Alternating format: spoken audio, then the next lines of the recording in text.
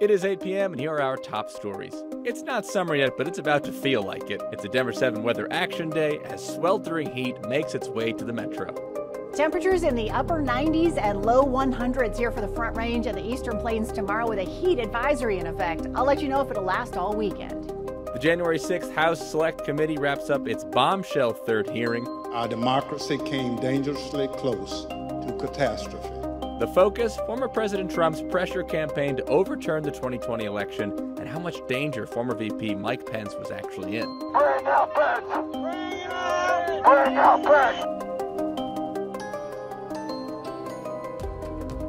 Good evening and thank you for watching Denver 7 News on Local 3. I'm Danny New and I have been sweating all day. Honestly, you're taking a live look over Denver right now. Let's take a look. There it is. It's still hot, even now. I guess it's technically not summer, but come on.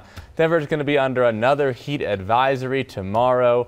Meteorologist Stacy Donaldson joins us now to tell us about it on this Weather Action Day. Stacy, it's hot. It is, and it's going to be even hotter tomorrow. Our afternoon highs today were in the low to mid 90s here across the Front Range. It's still 84 degrees outside right now, 89 in Fort Collins at 88 in Greeley. That's one of the reasons the National Weather Service has issued a heat advisories because it's going to be warm well into the evenings here the next couple of nights and very hot during the day. We also have an air quality alert here for the Front Range all the way south toward Castle Rock and Highlands Ranch. We have a few thunderstorms that have popped up as well, but it's the heat tomorrow with this heat advisory with temperatures near 100 degrees tomorrow afternoon for the metro area all the way up into northeastern Colorado. So we're keeping on our eyes on that because our record afternoon high tomorrow is 100 degrees set just last year in 2021. But tomorrow we'll have upper 90s and low 100s here for our area. And we're going to be talking more about whether or not this will stick around all weekend long in just a few minutes. Thank you, Stacy. This extreme heat is especially dangerous for young children. One single father in Thornton reached out saying that he has been struggling with his landlord to restore his air conditioning for him and his baby.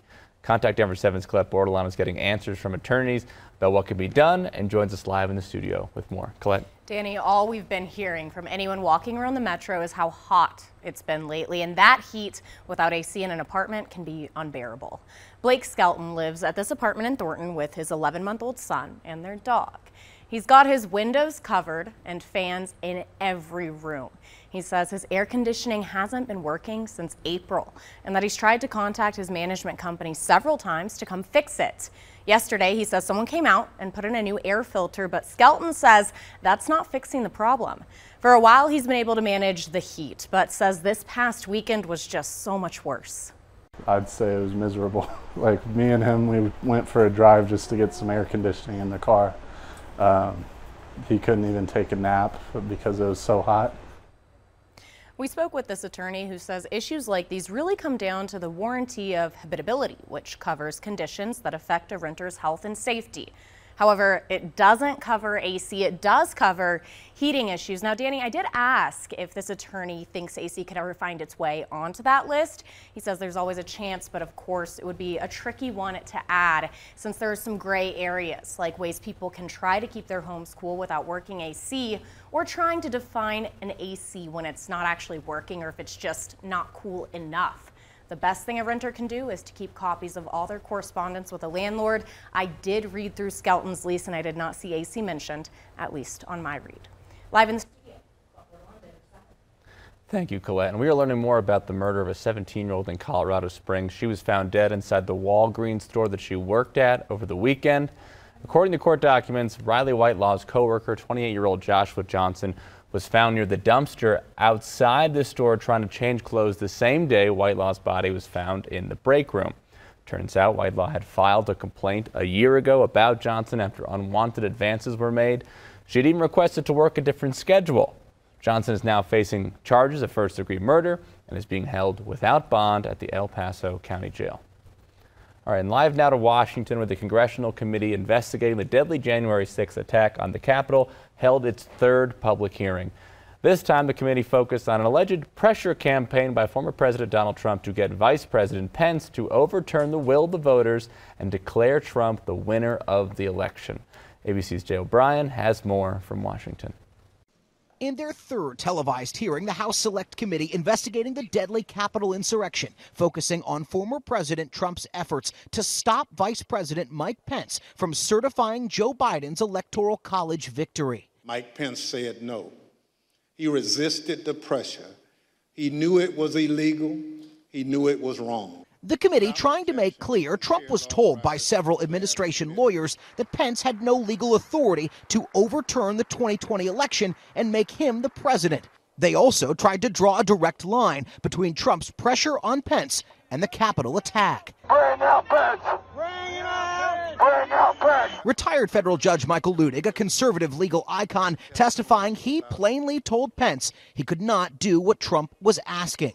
Would have been the first constitutional crisis since the founding of the republic. And Pence's former general counsel, Greg Jacob, who was with him in the Capitol on January 6th, agreed. There is no uh, justifiable basis to conclude that the vice president has that kind of authority. While Pence is being praised for performing his constitutional duty on January 6th, just two days before, at a rally in Georgia, Pence himself seemed to question the validity of the 2020 election. I share the concerns of millions of Americans about voting irregularities. And I promise you, come this Wednesday, we'll have our day in Congress. And in a new development, sources confirming to ABC News the January 6th committee is now in possession of emails between Trump legal advisor John Eastman, who drafted the campaign strategy to have Pence block the certification of the election, and Ginny Thomas, the wife of Supreme Court Justice Clarence Thomas. The committee chairman telling reporters today he wants to invite Ginny Thomas to speak before the panel soon. Previously released documents show that Mrs. Thomas reached out to state legislators, even Trump's then chief of staff, Mark Meadows, trying to overturn the 2020 election.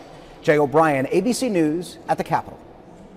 Thank you, Jay. Now, stocks fell sharply today and worry that the higher interest rates will stall the global economy. The Federal Reserve raised interest rates by three quarters of a point yesterday to combat inflation, and today the S&P 500 fell 3.3%, the Dow dropped 2.4%, and the Nasdaq 4.1. In an interview with the Associated Press today, President Biden said a recession is not inevitable. People from Native American tribes across the country are meeting in Fort Collins this weekend to live as their ancestors did in direct contact with the land and to raise awareness for the issues and discrimination they still face today. They are setting up on the land where Hughes Stadium once stood, and since its demolition, tribal leaders have been working with the city to have some of the land returned to indigenous people who said that they occupied the land long before white settlers. Denver 7's Rob Harris was there today as they set up their village for the weekend. I'm standing at the site of the former CSU Hughes Stadium. Now, usually it's totally vacant, but this weekend it'll be full of tents and teepees as Native Americans from various tribes come together in community to both heal with one another and to raise awareness to the broader community of issues they say we're facing right now. First and foremost, they say, is sustainability and respecting the earth and natural resources around us. But they also want to raise acknowledgement and awareness of Native American heritage and the injustices they've faced. A lot of people, when I tell them I'm Native American, they're like, y'all still exist? So it, it's, it's upsetting, but at the same time, it's, I mean, it's reality. I'm hoping one day, I'm hoping that this kind of what we're doing here um, spreads awareness. Now, some healing has actually already taken place. Last fall, a sweat lodge was set up here by tribal elders, but then was removed by Fort Collins City workers. However, since then, I'm told by leaders they've had very positive interactions with Fort Collins City officials. This event this weekend was approved, and I'm told there will be more events in the months and years to come to keep coming together as a Native American community and to also reach outward and connect with the Fort Collins community and keep these messages front and center. In Fort Collins, Rob Harris, Denver 7. Coming up on Denver 7 News at 8, cracking down on car thieves. Motor vehicle theft is affecting everyone. Car theft skyrocketing in Colorado. Now local leaders are taking aim directly at the criminals. I want to send a very clear signal to car thieves that Aurora is not the city to steal cars. Temperatures in the upper 90s and low 100s here for the Front Range and the Eastern Plains tomorrow with a heat advisory in effect. I'll let you know if it'll last all weekend. Plus, taking a break from the heat to learn the ins and outs of being a firefighter. Doing great. One summer camp is getting kids fired up for safety. It makes you more confident in doing things.